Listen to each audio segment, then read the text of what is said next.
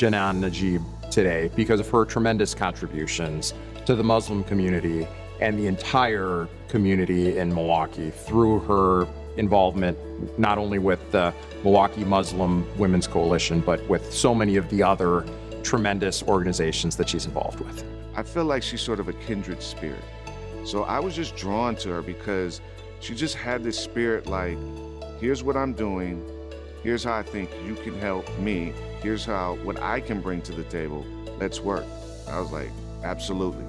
Absolutely. I want to be a part of whatever you're doing.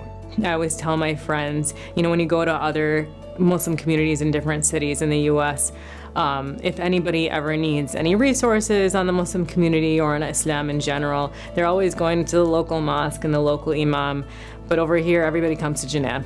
Janan's a person that she doesn't do it for glory. Uh, she doesn't do it to uh, go out there and seek recognition. She does it because it's it's something that needs to get done. So she really digs in and works to make sure that the there are these levels of understanding uh, in the community. That has meant so much to me uh, over time, but it means so much to the people in Milwaukee as well. When Janan and I first met, it was strictly as um, people who believed in civil liberties.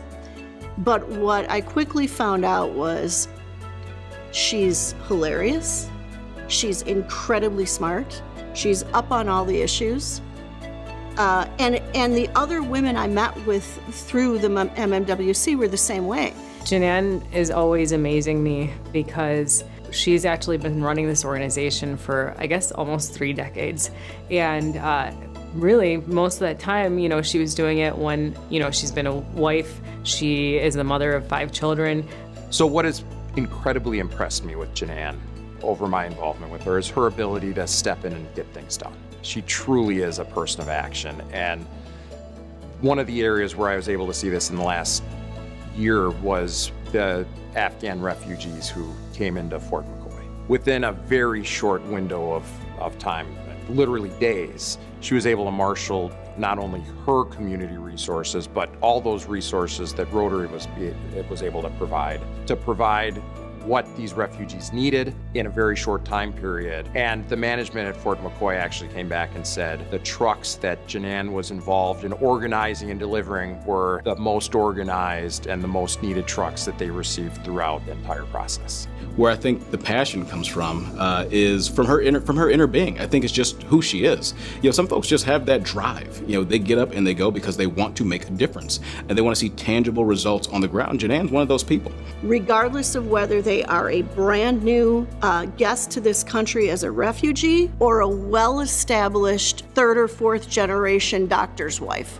She understands the entire scope of humanity and what people need at what point in their lives. She has that innate ability. I feel like you can't leave a meeting with Janan not being more informed. Janan's work over years and years that she's been involved in Milwaukee has been extremely important for understanding. No matter what side of town you're on, Janan has been a force. Like I said, she's a great spokesperson for the Muslim community. But she's actually a great spokesperson just for, I think, people of color in, in, in general in Milwaukee, for women. You can't see her in action and not become a big fan. I often talk about, you know, the need for us to have partners and partnership in Milwaukee, and there's no better partner, I think, concerned about bridging gaps uh, between peoples than Janan. When Janan Najeeb someday takes a well-deserved retirement, they're going to have to hire four people to replace her. She is just, she's a brilliant woman and she's fierce.